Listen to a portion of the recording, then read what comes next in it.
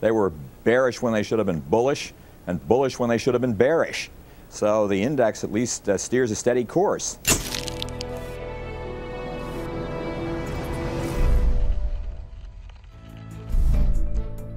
We're joined this evening by a mutual fund executive whose words are so clear they never need dissection or analysis. He's John C. Bogle, founder, and senior chairman of the Vanguard Group, the nation's second largest fund company, and he joins us night, tonight from Philadelphia. Welcome, Jack.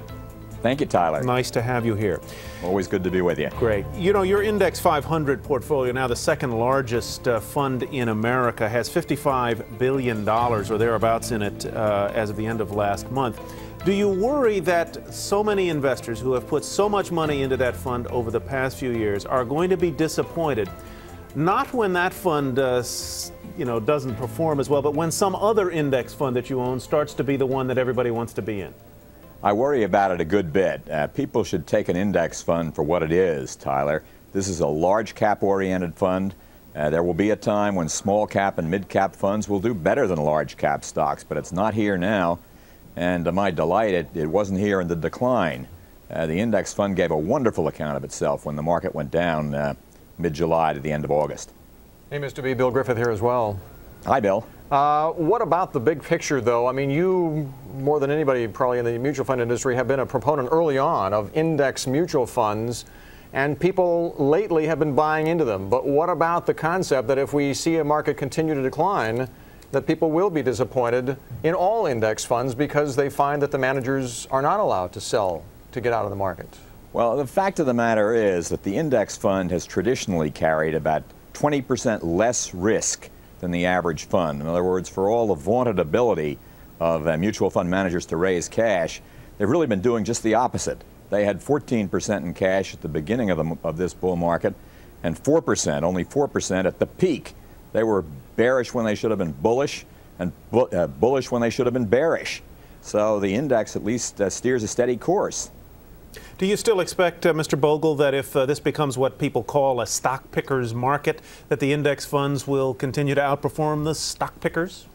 Uh, I don't think there's such a thing as a stock pickers market, Tyler. All investors are picking all stocks, and to the extent an index fund owns all stocks, it's a sort of contradiction in terms because if the good stock pickers uh, take all the good stocks, the other half of the market will be owned by the bad stock pickers who pick the bad stocks. It all comes out to a sum of one.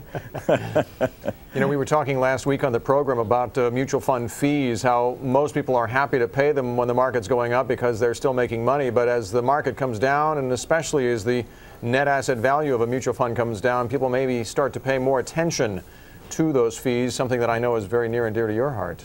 Yeah, the, the fees in the mutual fund industry, I'm sorry to say, are generally pretty outrageous. And you add to an average fee of 1.5%, at least another half percent for the fund transaction costs inside the portfolio, which isn't disclosed separately. And then mutual funds are tremendously, except for index funds really, tremendously tax inefficient. And the index fund is going to pick up another point and a half on tax efficiency. You think they're going to have to come down, though, because of competitive uh, practices and because maybe fund investors will demand it? I, I think sooner or later fund investors will see the light. Uh, you see more attention paid to cost in the press. Uh, you see more dissatisfaction with the mutual fund as an investment medium uh, in the magazines, uh, on television. And uh, I think the industry's got to adjust to a, a different era. the fees are too high, and that's, that's all there is to that. In addition to fees being, uh, as you your word, uh, outrageous, uh, a lot of people think that uh, there are just plain too many mutual funds out there, some 9,000. What's your view on that? And, and I note that you guys have something like 22 or more separate index portfolios just in the equity area. Why do you need that many? Well, you need, uh, first, I think there are far too many funds in the industry. I mean, I don't know what one does with 9,000 funds. Now, of course, I can immediately jump to our own defense, which maybe is a little bit unfair, but you need a number of index funds because investors are getting more specialized. And some investors want the 500. My preferred index fund happens to be the total stock market, which includes large, medium, and small stocks. But some investors with a, with a blue chip portfolio want a, an aggressive entry into, um, say, small cap growth funds. Well, a small cap growth index fund is an, a very intelligent way to do that.